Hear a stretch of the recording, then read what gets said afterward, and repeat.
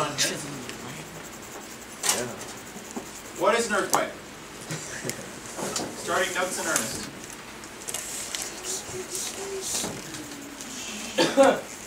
Earthquake is very simple. It's when the earth is vibrating and tho- those vibrations that are produced from the rapid release of energy in the lithosphere. Lithos. Here, we've seen this word before. Here, where does lithos, what does it mean? You don't know? Who remembers what lithos means? Lithos. Lithification. Lithification. We've seen it in lithification. What is lithos? I said this is the Greek word that means rock. rock. Good job, Dejan. Lithos is the Greek word for rock. So the li- lithosphere, what do you think that's going to be on Earth? The rock layer. The layers where there's rock. Good. Okay, so if you draw your attention to the Earth's layers, the outer layer of Earth is called the what? The crust. Okay? Lithosphere, we're going to learn more about this later, but it's part of the crust. Or the crust is part of the lithosphere. We'll go backwards and forwards on that. Okay. So, an earthquake is the earth vibrating produced by a rapid release of energy in the crust. Stillness. Please. What causes earthquakes? The ground slips, the ground moves. The ground is always moving. The ground under your feet, whether you know it or not, we are moving. The whole plate is shifting and us on top of it. It's not going very fast. But when you have an earthquake, it does go very fast. And that's when you get crazy movements. Okay? Earthquakes.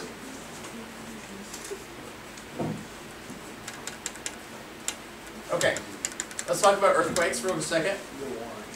Vocab terms. I don't have the GPS to you yet. Right. Elisha, Dejan, Cedric, it's your last one. Okay? Vocab terms. I don't have the GPS to you. I'll get that as soon as I can. The epicenter of an earthquake is the spot over which the earthquake happened.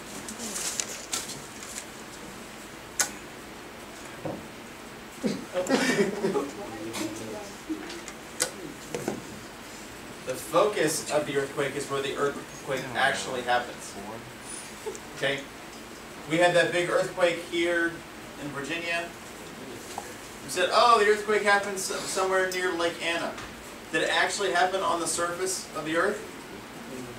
No, that's the epicenter. That's where the earthquake is this kind of centered on the on the surface. But you have to start going really, really deep before you find out where the earth actually started to move.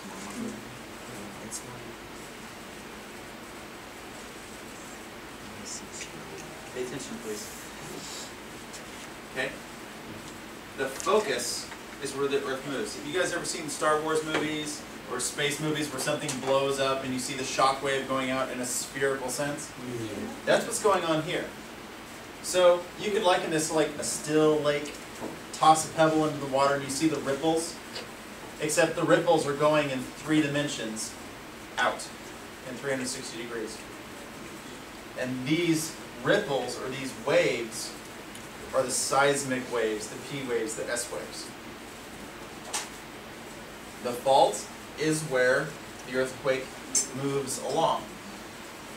We've got an arrow here. Let's talk about faults for a second. Faults are really cool. So this is uh, Japan. This fault offsets, so this is a farmer's field. I want to get you kind of how recent this is. Farmers' fields don't stay plowed in these nice fashions. Every year we replow them. So this earthquake shifted the earth violently enough to, to offset this an entire furrow. What do you, I mean, you figure about that far? Two, three feet? The earth moved in one direction. And if I look at this, it looks like the earth moved in this direction. So it's called right lateral fault. Okay? You can have local faults or regional faults. Some faults go really long ways, some are really short. What's the really popular, well, popular, famous one or infamous one in California? Uh, the Starts with a San. San Fran. San Fernando Valley. San Fernando Valley is a place. San Francisco Falls. Not the San Francisco Fault. San Antonio. Andreas. The San Andreas Fault. No, it was Antonio. The San Andreas Fault runs the length of, almost the length of California. Where one side of California is moving north, the other side is relatively moving south. Eventually, California will be its own island. But when I say eventually, I mean eventually, not anytime soon. Okay? So, you guys can see how the Earth has moved along the fault. Do all faults occur on the surface? No. No, some faults are really deep. The fault that we had in, um, for the Virginia earthquake was not at the surface, it was very deep. Okay, so what causes these earthquakes? Well, we know that the Earth is made of different plates. You have the North American plate. You can see how the fault where the Earth has different sections of the Earth that are moving. And as these plates and different sections of the Earth are moving, it starts to build up tension. As that tension starts to build, as the plates either move toward or sideways away, it starts to build tension. Eventually, the rocks are not elastic enough to, to bend forever, and they will do what? Wait. What happens if I bend this all the way down? Wait. It's gonna snap. Well, I, I like my ruler, so I'm not gonna do that. But as you get more and more and more and more pressure, the potential energy builds and builds and builds. The more it builds, the bigger the quake. And that snap, that release of energy when the earth is rebounding from the snap, that is the earthquake. Okay? You guys understand that? Do you guys have any questions about that concept? Okay.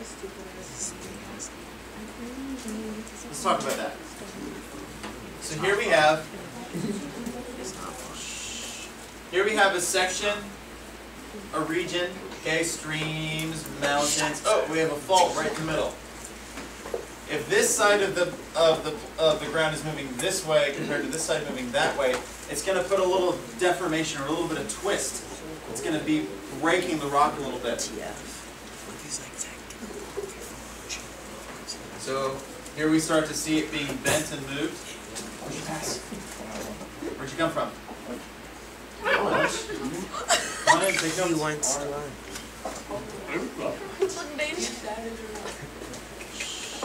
Who's hungry? Quiet, please. Okay. Gentleman in the back. What'd they have for lunch? What'd they have for lunch? guys. Eventually, the rock can't take the bending anymore and it breaks. And that's that release of energy. And you can see how this is all bending and shaking. And then you can see, this would be like, see how the rivers are offset? The rivers no longer match. Energy is released. This is that concept of elastic rebound. Okay? These are earthquakes. These are what cause earthquakes.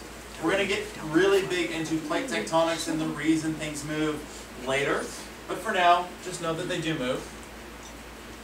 So let's talk about these earthquakes. Let's measure them. How do we measure how much the earth shakes?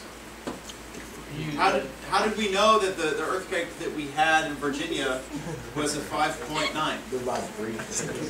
Don't they use a tool of No seismograph. They use a seismograph to measure how much the earth is shaking. So we measure seismograph, seismic waves. We're measuring these seismic waves or how much the earth is shaking on usually a drum. Okay? Do you guys get that the more intense the waves are, the bigger the earthquake is? Cedric, does that make sense? How about you, Deja? Okay.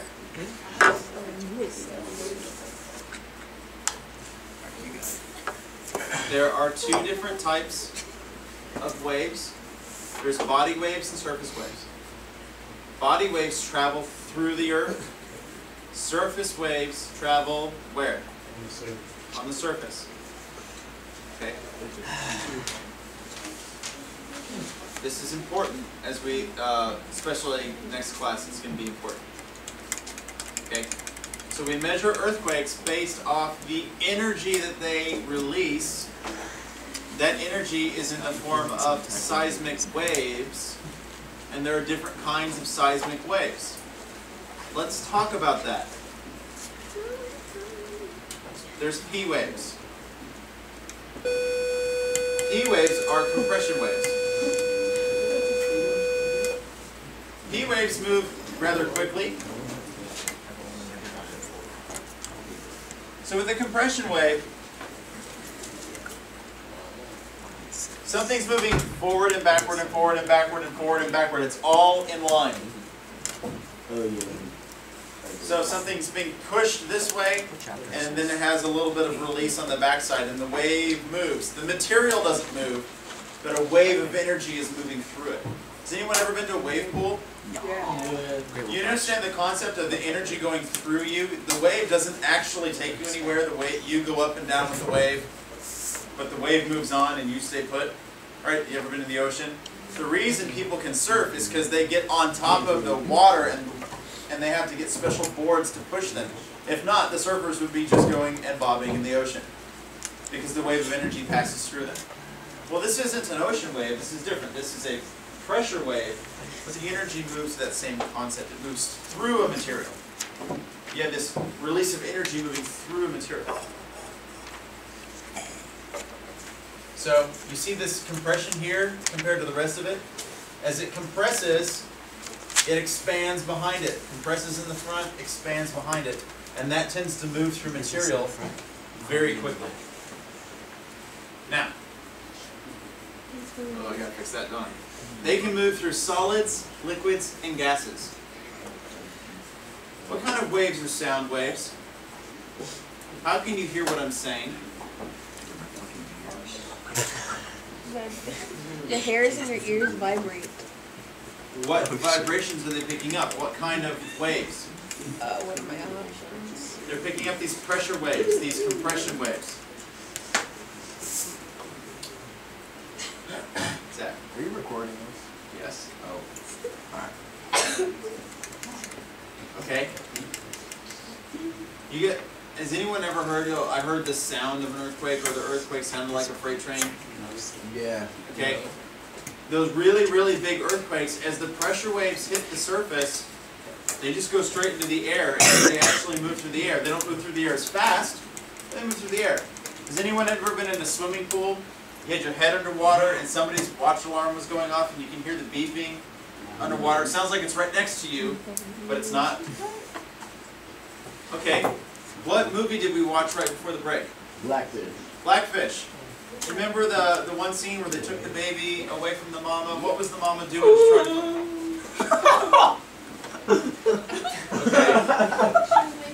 No. She was making long-range vocal sounds. Okay, whales don't need cell phones like you guys need cell phones because they can talk to each other miles and miles away. Yes. Because sound travels. All right, Cedric, that's it.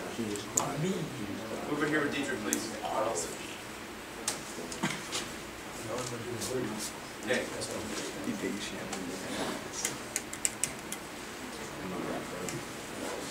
You guys still talking? Elisha, come on over here with Genesis, please. Mm,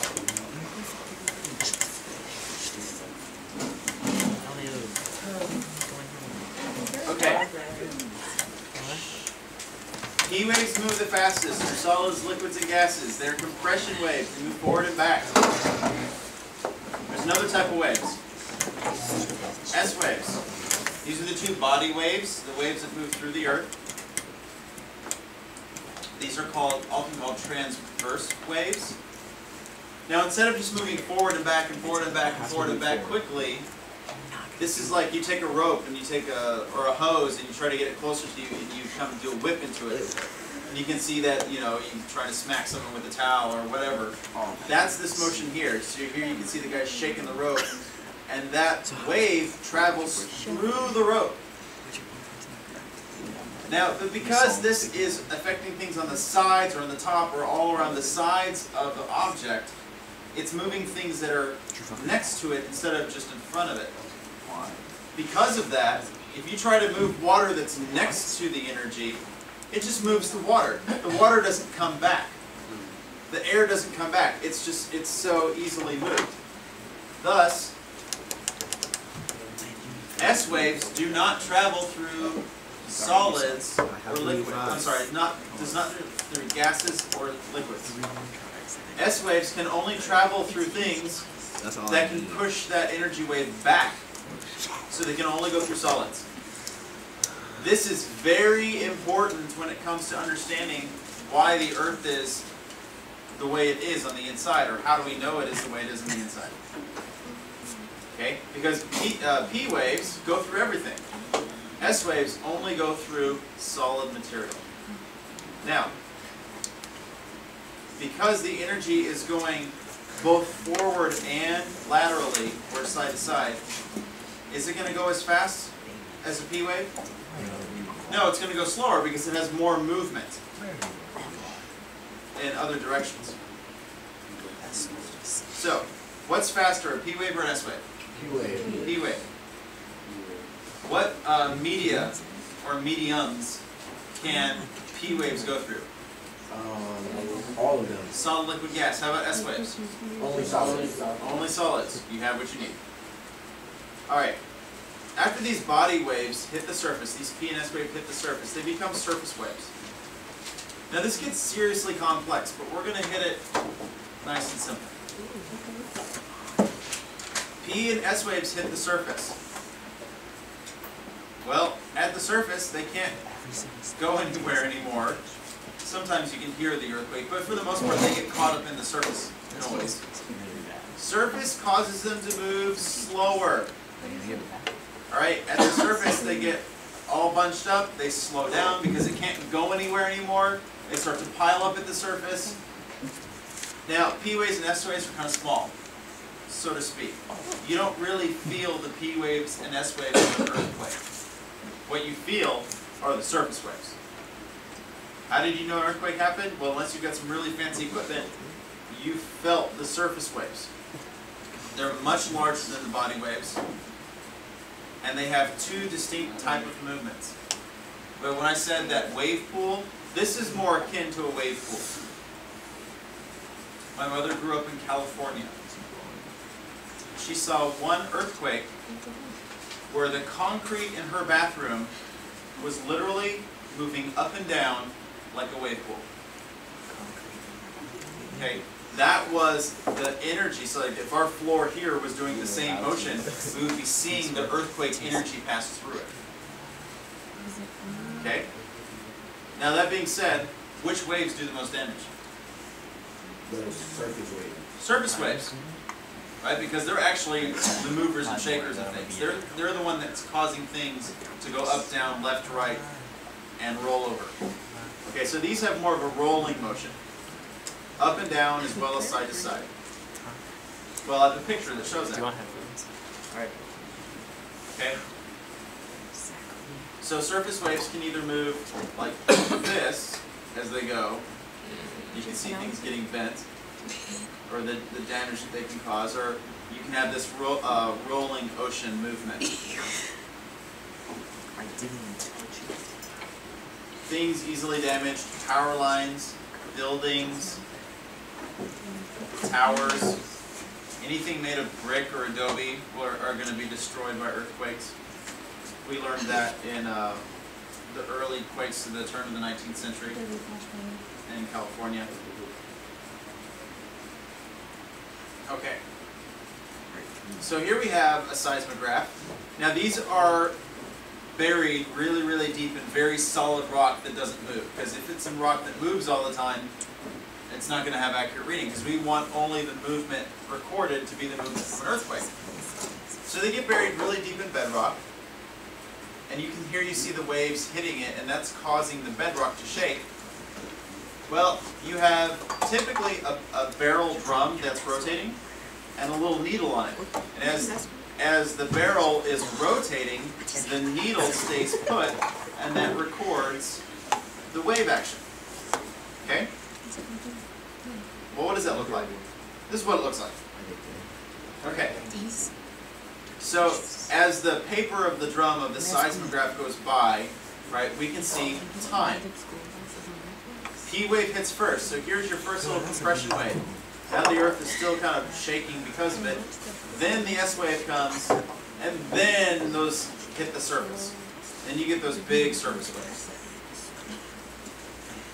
Is that something like we actually the actual pattern of the seismographs?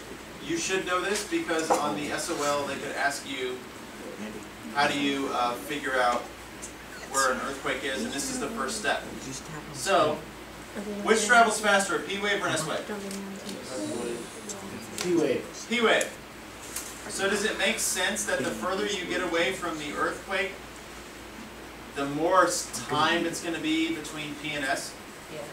Right? If you're in West Virginia, driving to DC, and you have 100 miles to go, if you're driving 100 miles an hour the entire time, how long is it going to take you to get to DC? One hour, right? If you're driving 100 miles an hour, you have 100 miles to go, you'll get there in one hour with about three tickets, okay? But if, that would be the prime, the P wave. The S wave, sometimes called primary, secondary, but that's pressure and something else. The S wave can only travel, let's say, 50 miles an hour. It has 100 miles to go. How long is it gonna take the S wave to get there? Two hours. Two hours. But what if something's 200 miles away? Is it gonna, so at DC, it was twice as long. Instead of one hours, it was two hours. What if it's two hours away? How long will it take the P wave to get there? Uh, Wait, you said how many? 200 miles instead of 100 miles. It's gonna take the P wave two hours and the Like S wave after I posted that. four hours. So you can see that the Because gap is expanding. Zach? I'm not. I'm really not talking. I'm being so serious. Can you please turn around and face forward, please? Yeah. Okay, so the length of time between the P wave and S wave arriving tells us how far away did the earthquake begin. And this also tells us how intense the earthquake is. So the bigger the waves here, the greater the magnitude of the earthquake. Okay. So we talked about how to record the energy from an earthquake. That's through those seismographs.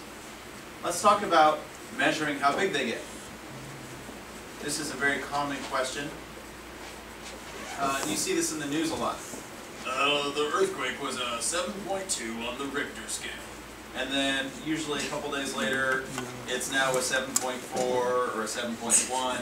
And that number will change. Have you guys noticed that with big earthquakes? Okay, the reason is that the Richter scale is based on the height of the largest seismic wave. So it's based off the height of these waves on the seismograph. And that works really good in California because that's where they were designed. But really, it's not used very much by the scientific community. So the United States Geological Society, the USGS, uh, don't really use the Richter scale. You hear it in the news a lot because it's the, the word that everyone's used to. We use something different, but the Richter scale is just how big are the waves themselves. Well, does it make sense that sometimes in different areas the earthquakes happen in different types of rocks? Some rocks are going to be stronger than other rocks, right? So if you have some rocks that are stronger than others, or weaker than others, or more or less dense, is that going to allow the, those waves to travel differently? Yes. So Richter scale is not super accurate. Very effective for getting a general idea of what kind of you have, but not super super accurate. Okay. What we want to use instead is moment magnitude. Moment magnitude. This is way more accurate. Instead of measuring how big the waves are on the seismograph, we're measuring how much did the earth move along its fault. This takes a lot more uh, study. You don't get these readings right away. These usually take a few days. This measures, in general, the amount of energy that's released a lot more accurately. It takes into account how much did the rock move? How strong was the rock? How far did the rock break? Was it a small break or was it a really long break? The tsunami that caused the, the, the Christmas tsunami, I think it was in 2004, in Jakarta, Indonesia, that killed all those people, like 100,000 people. When they went under, the tsunami is an earthquake that form, happens underwater and pushes water out of the way. The earthquake had pushed the earth up over, I think, like 50 to 100 feet. It was a really intense movement of the earth.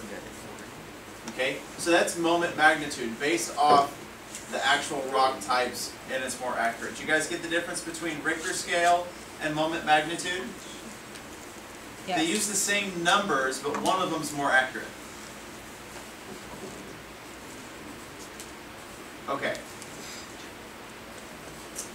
Uh, there's one more thing I'm going to talk about with this. Moment magnitude, okay. How strong is the scale? Let's understand the scale a little bit. Anything less than a 2.0 earthquake could be happening all the time, and you would never know it. You just can't feel the really small ones.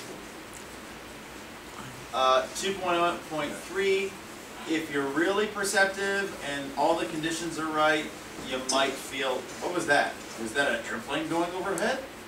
Or was that just Dejan's car driving by with all of his music pounding? You wouldn't know the difference. You can barely feel it. You know, and then, I mean, even the 3.0 to the 3.9, you just don't feel them.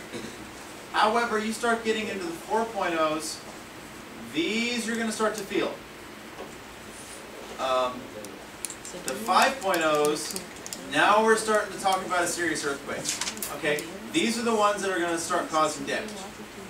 The 6.0s, not only do you cause damage, but you can destroy entire cities.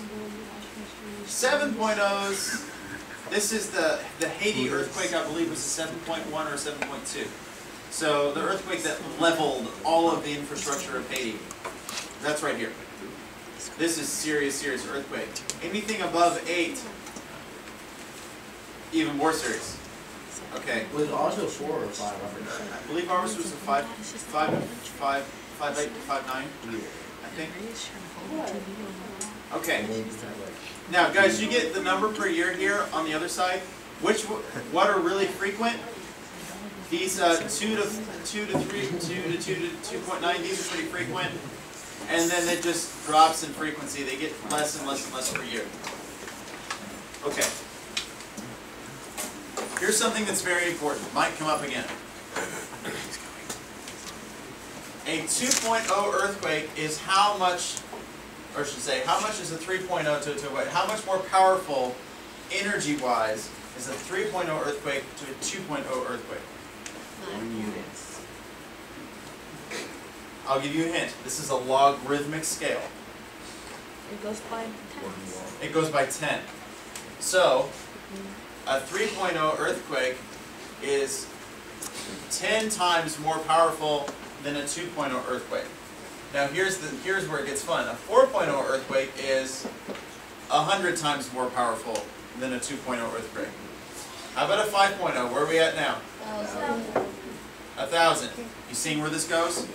Okay, so this is a logarithmic scale. So these small, I lived in Kentucky, we had a 4.4 earthquake, can be strongly felt. Well, the problem is in Louisville, you have a whole bunch of buildings that aren't designed to handle earthquakes. So we had some bricks fall down and some pieces of these old buildings fall down. And they talked about it in the week for two, talked about it in the news for over two weeks. Okay. I was working at UPS, standing on the ground, and I didn't feel it. So we're talking about it for two weeks. Um, you have a, a, a 6.3, 6.4 in California where all the infrastructure is designed to handle it. No one even mentions it. You know, so it all depends on where you are. Do you guys understand the logarithmic scale? As far as how, how powerful we measure them? That's good. Okay. So we just talked about the Richter scale and the moment magnitude scale measuring the amount of energy that's released from earthquakes. This is not that. Okay? This is rather Do you know the amount of damage that's caused. Okay? This is not going to be the same for every earthquake. If you have a 7.0 in California, you're going to have a lot different effect of a 7.0 in Haiti. Yeah. That's right. Why do you think that is, Deja? I found her like because her boyfriend is like literally. There's what? There's like, there's like not a lot of stuff maybe. Well, there- it's not that there's not a lot of stuff in Haiti. There is a lot of It's buildings just- stuff. Did you say besides California? Like if you're comparing. San Francisco 7.0 I just- I to Haiti, of Because them, San Francisco is more like used to it. They're more built. They were like. ah, they're more built for it. Kiara, please stop talking. See, in Haiti, they had a, se- I think it was a seven point one or seven point two, okay, completely destroyed all of Haiti. Just completely wiped it out. Well, that same earthquake, uh, or uh, I'll use the example I have, Chile, an earthquake that's a hundred times stronger, if, or seven, I think a hundred times stronger in Chile, South America, they had one of the largest earthquakes ever on record, and it only moderately damaged the city. Why did the earthquake in Chile not completely wipe it out if the earthquake in Haiti completely wiped it out? The structures, the building codes are designed to handle the shaking of an earthquake because they've had them before. They built for them, so the buildings don't completely get destroyed. Well, Haiti is a very rich or poor nation. Very poor. Very, very poor. So their building codes aren't exactly well enforced and everything just crumbled to the ground. I heard you. Okay? So the modified Mercalli scale measures how much damage is done. So you can see the differences in where the, it's not necessarily how much energy the earthquake has, but the area. If you have a huge earthquake in the middle of nowhere, Alaska, no one cares. He's never gonna return. Right, it didn't- didn't actually damage anybody. But if you have that same huge earthquake in Mexico City, you're gonna see a lot more destruction. Mostly because Mexico City is built on a dry lake bed and it just literally turns to water or quicksand Okay, follow two. and you get cool things. Alright, this would be Haiti or areas like Haiti. This is what happened in Haiti. Everything just collapsed. Um, liquefaction, that's where this would be, I think this is Mexico City. The ground literally turned to quicksand and the buildings just sink into it. These are some of the hazards that we get with earthquakes. Okay. Let me go back to where it was. Okay, so that's, that's what the modified Mercalli scale is measuring, how intense the earthquake is. So, it goes from not felt at all to weak, light, moderate, strong, very strong, severe, violent to extreme. Okay, so here's one earthquake in, uh, outside of San Francisco. This is the Loma Prieta earthquake. Loma Prieta. Right? I don't know, I don't live in San Francisco. Okay? And you can see the different areas of damage all the way around San Francisco as the earthquake damaged some areas more than others. That's the Mercalli scale. He was like. They.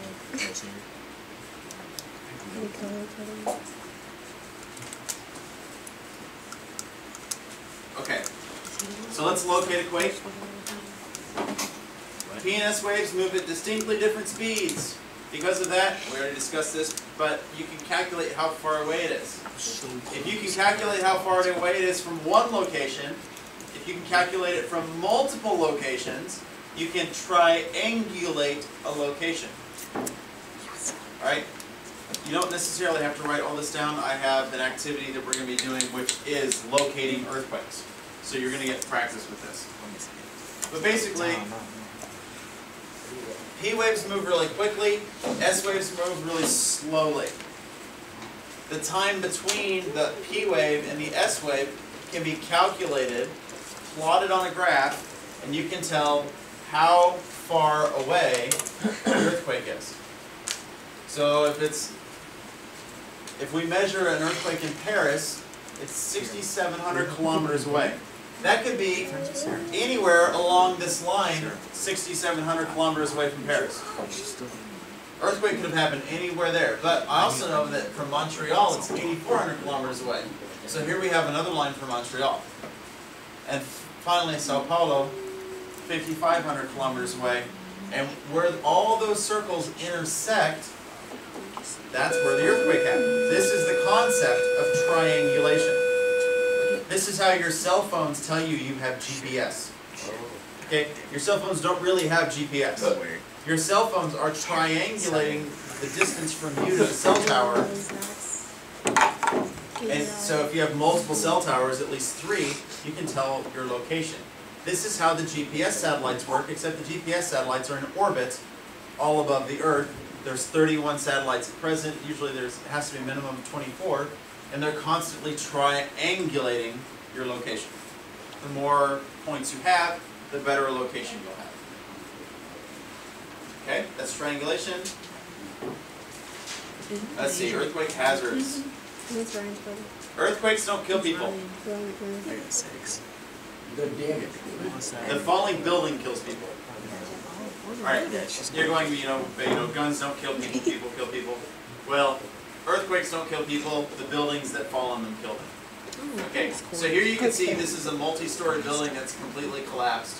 Whenever I see stuff on Um, guns on Twitter, I think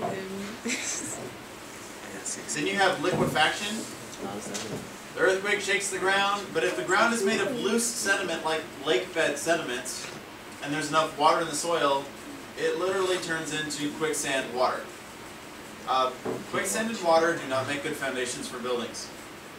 This is why any earthquake in Mexico City is so damaging, not because Mexico City is some trashy city, but because the city is built on loose soil. And if it starts to shake, you start to shake sand in an hourglass, it starts to go everywhere. There's nothing going to be sturdy. There's an old proverb that still holds true. The wise man built his house upon the rock. The foolish man built his house upon the sand. Okay, and when the waves come, the house on the rock stays put, the house on the sand gets washed away. Okay, same concept here. You build your house on loose soil, you have a shaking earthquake, it just sinks into the soil. Thus, here's a building that has sunk into the soil. You can tell this was the this was the ground. The whole building has tilted into the ground. Okay, that's liquefaction. Okay. We've talked about landslides and mud flows before. Why am I talking about them now? Because they're caused by earthquakes. Yeah, they're often caused by earthquakes. This is uh, Madison River Valley in Montana. Do you guys see this entire scarp here? This whole piece of mountain that should have trees that doesn't? Okay. This was a really interesting location. So here you have this mountain. I'll try to. Okay. Okay, here you would have your, your river. Okay. You have rock sediments or the rock strata. They're tilted. So they're going like this. Okay? And you'll have like sandstone and clay and other stuff. What are they going to look like on this side? Are they going to be like this? Yeah. No, the same way. No, they're going to be the same as they are on the other side. So here you have different layers of rock. Okay, but this layer is clay. Okay? Clay is very compact, very hard, it's impermeable. That means no water can pass through it. It was raining really hard, so now there's a lot of water between the clay and this layer of rock. They had a very strong earthquake in the sixth range. I think it was the sixth range. Now, the earthquake allowed all of this rock to get loose and it starts to shake. The clay is not going anywhere. So what you see here is the clay. Where does all this rock go? Down. Down. Okay? This caused the river to get dammed. Do you guys see the dam right here? It's called a, it's called a rock slide dam. It actually caused a, a lake. I think they called it Quake Lake. Quickly. Um, there's a big campground down there. A bunch of people died. Uh, they said when the earth gave way, and this this mountain is this, this is not small. This whole mountain's bigger than most of the Appalachians were that we have. When this thing gave way, there were people down here who had their clothes ripped off of them from the wind that it created from pushing all the air out of the way. It's documented. It's historical. This is the Madison River Valley landslide. Um, interesting. Do you see how all these trees have died And the water from the water flooding the trees? Okay. Now what's interesting is it made a dam. They didn't do anything with the dam. They left it there, and then the dam uh, collapsed, and now you had a flood go down kill a bunch of people downstream. Then it made another dam. so there you go. But you can actually go out there and see this today. It's a it's a really neat place to go see. But this would be all caused because of a what? Earthquake. Uh, there's multiple examples of this all over our nation and all over the world. Um, not very far away from Yellowstone National Park, you have. Has anyone heard of Jackson Hole, Wyoming, or Jackson, Wyoming? Yeah. The Grand Tetons. Okay. There's a, a place called the Gros Ventre landslide right across from the Tetons in Jackson Hole. Um, same same thing. Okay. Tsunamis. Who's heard of a tsunami? What is a tsunami? It's a giant wave. It's a wall of water. You know, wall of water. Um, has anyone heard of called tidal waves? Yeah. Um, tidal wave is kind of a misnomer, meaning it's not labeled correctly. Um, tsunami works a lot better. You have an earthquake in the ocean. That causes the water to jump and move. It's being pushed forward in one direction, and that causes a big wave. Well, that's not too unusual. So in the ocean, you have typically crest, trough, crest, trough. Okay, so these are the waves that are typically moving in a certain direction. Okay, now from here to here is called the wavelength. The wavelength. The wave height is from here to here. This is what a tsunami looks like in the open ocean. It looks like every single wave. The difference is a tsunami is not a short wave like this, but it is a wave. The wavelength gets seriously long. You okay?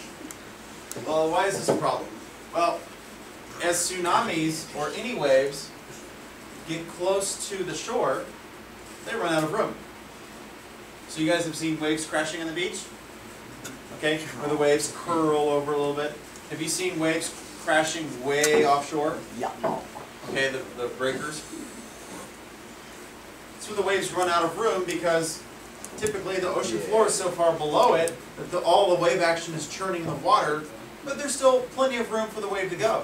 But what if the, the shore comes up, the shore comes up? Well, there's no more room for the wave, so the wave has to start going uphill.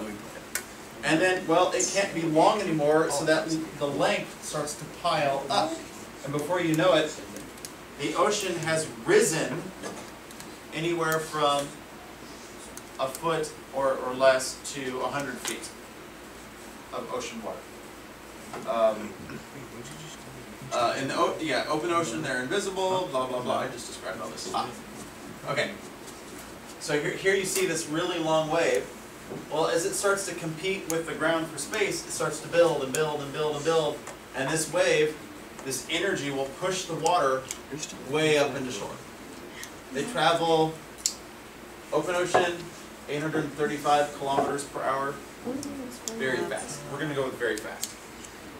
50 kilometers per hour is pretty slow.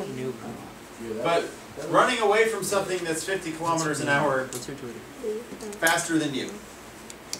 Okay, uh, 100 kilometers an hour is 60 miles an hour. 50 miles and 50 kilometers an hour then would be around 30 miles an hour. You can't even ride your bicycle that fast. Okay, so this was the tsunami that hit Japan very recently. Can you see the ocean is just has literally just risen and is being pushed inshore? You often see, you know, the you know the, the illustrations of the giant wave hitting New York City and the wave is peaking as high as the Statue of Liberty. That is just not accurate. This is more accurate. The ocean literally just, as the wave comes in, it doesn't stop coming in. The wave breaks way out here, but it just keeps coming inshore. It keeps coming inshore, but the problem is it's 20, 30 feet tall. And this is what killed over 100,000 people in Indonesia. The ocean just came in. Yeah. Um, the water would be black in this sense, probably because. Um. I'm guessing because the water is just dirty in this area. Or maybe just the, the particular picture is getting an angle where it's not picking the light very well. Sun hashtag. Okay, so these are tsunamis. Tsunamis are caused very much by earthquakes. This is it. This is gonna be. Okay. Okay, the trick to a tsunami.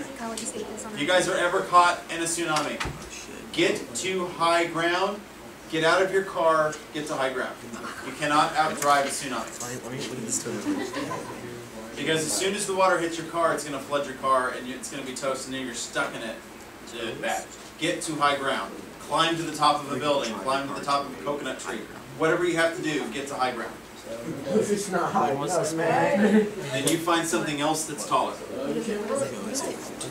Okay? Oh, Never underestimate the power of moving his, water. um, it's his- Abby. Yeah. I say that, I'm like, Okay. agree with you. What's wrong with that? Excuse you. We are on our two last years. slide. Okay. How do we prevent damage Is that she from like earthquakes? Um, there are three simple ways. Guys, that table. Know if you're in a danger area. If you live on the San Andreas Fault, you should know that you're in a danger area. If you live in Japan, Japan is nothing but a seismic nightmare. You should know you're in a danger area. Okay? Where we live here in Virginia, not very dangerous. The biggest earthquake we've had in a hundred years, I got so excited about it, I ran inside and looked on the internet to see how big it was. I mean, it wasn't that big. I'm like, woohoo, we have an earthquake! How exciting! Um, so, so that's one thing. Two, you need to build homes in such a way, build buildings in such a way that they can handle the shaking forces of an earthquake. In California, if you're gonna build a house, do you guys know what studs are? Yo. Okay, like you, if you pull down the drywall of a house, you have those wooden posts every 16 inches, or at least they better be 16 inches. In uh, America, I'm sorry, on the East Coast, you just put up drywall on your studs. 32. On the West Coast, the building code says you have to put up a sheet of plywood covering all the studs. So that way, when, when the building is shaking, the plywood holds the building together. And it doesn't crumble to pieces. So that would be an example of a code or building code to help your home withstand the earthquake. Okay? And then follow safety precautions. If we have an earthquake in here, hold on to something, get under your desk, and when the shaking's done, we're gonna evacuate. Okay, that is uh, our safety procedure if we have an earthquake. Why would we evacuate the building after an earthquake? Just in case I don't get it. things are about to. Yeah, I mean, goodness, we've already got cracks all over this place. I would, I wouldn't trust this place until a structural engineer says it's No, okay. my phone's at We go outside. That's the last one. Okay, that's it.